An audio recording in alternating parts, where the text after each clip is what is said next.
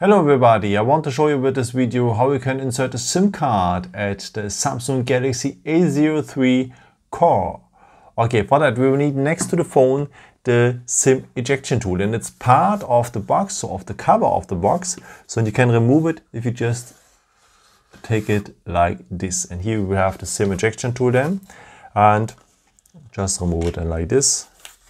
And yeah, otherwise, by the way, you can use, of course, also the edge of the good old paperclip. Again, if you have the phone like this, you will find now on the side of the phone the SIM tray. And below the SIM tray is a small hole in there. And now with the edge of the SIM ejection tool or the paperclip, you enter that hole, press a bit, and the SIM tray will come out. In this SIM tray, you're able to insert two SIM cards at the same time next to a micro SD card to extend the internal storage.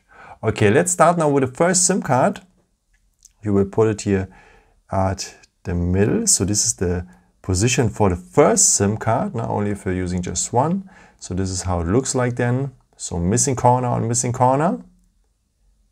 And the contacts are below.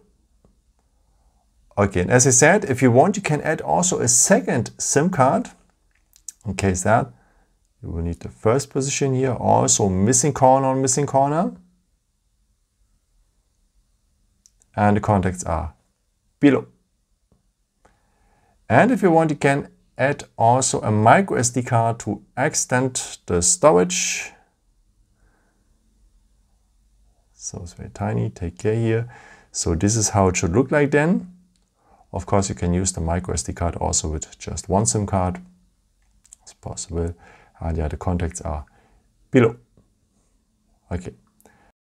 And then just put your construction back into the phone like this, close it well, and that's it. I hope I could help you with this video and answer a question. And uh, yeah, maybe if you want, you can leave me a nice comment or give me a thumbs up. That would be very helpful for my videos. Uh, thank you so, so much for. And yeah, I've created also some other videos if you're interested in, or me just subscribe me if you haven't done it before. Uh, thank you so, so much for all your support. And uh, yeah, maybe at the next time. Ciao.